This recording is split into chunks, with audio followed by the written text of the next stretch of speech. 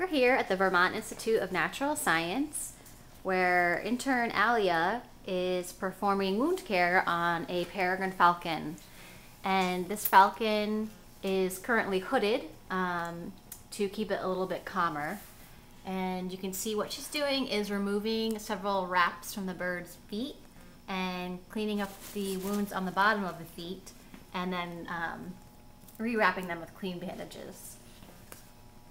This bird originally was found with a fracture in one of her wings, and, wing. in her left wing, and um, is currently receiving care with another rehabilitator, um, but is was brought here to uh, test her out in the in our flight cage, and we happened to notice that her feet had some possible infections forming. Birds sometimes get something called bumblefoot, and um, it's really important to stay on top of that. Uh, so we've been caring for her bumblefoot, and so far so good. so we finished uh, the wound care on the falcon, and Allie is going to unhood the bird, and then we'll get the bird back into its enclosure. The bird is ready to go home because she doesn't like this. so this is the bird's enclosure.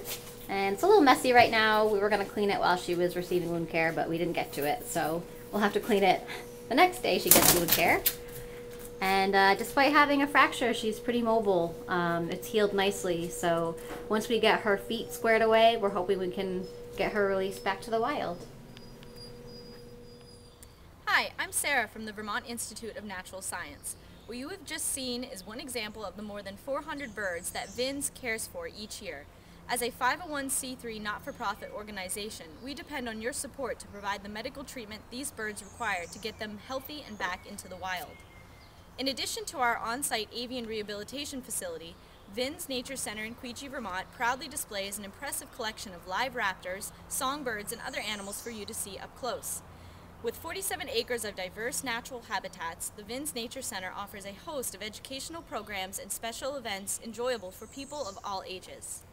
For the latest information on the birds in our care, a list of our current Nature Center programs, outreach opportunities and events, or to contribute to VINS so that we can continue our important work, please visit our website at vinsweb.org or call 802 359 5000 for more information.